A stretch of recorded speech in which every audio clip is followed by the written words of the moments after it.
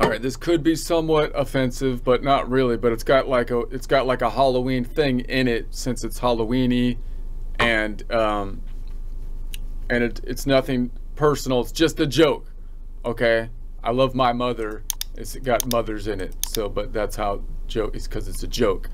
Okay, here we go.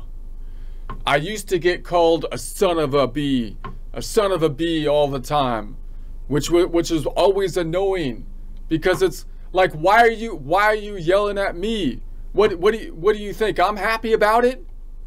I mean, why why why are you yelling at me when it's my mom that's that's the one that's being a son of a bee for crying out loud? You think I do you think I have any control over the situation here? Do, does your mom do what you tell her? I mean, I'm more I'm more of a victim here than you are for crying out loud.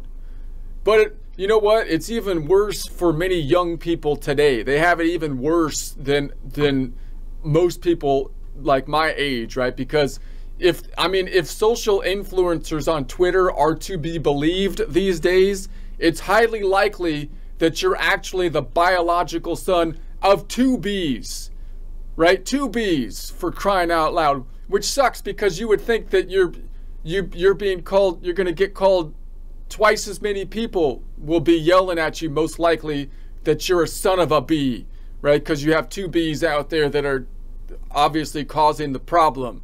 And then and then you'll have to keep correcting them whenever they call you a son of a bee. And you're like, "No, sir, you're wrong. I'm actually the son of two bees."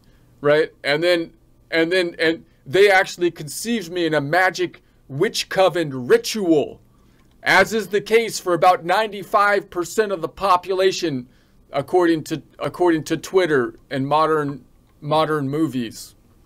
You know, honestly, considering the entire the entire witch coven was actually in on the conception process, I, I may actually not just be the son of two bees, but the son of like an entire bee gaggle I'm the son of an entire bee gaggle for crying out loud.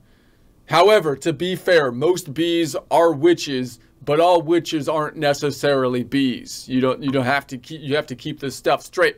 But so if you if you're really if you really want your yelling son of a bee at me to be at all helpful to you, you're going to have to be a lot more specific, right? You can't just call me a son of a bee because I don't know who like which one you're referring to.